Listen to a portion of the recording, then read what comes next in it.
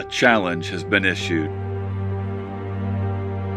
A task which has not been requested, but nonetheless has fallen unto you. But with difficult challenges come new opportunities. The opportunity to build something special, founded on the Brotherhood of Trust.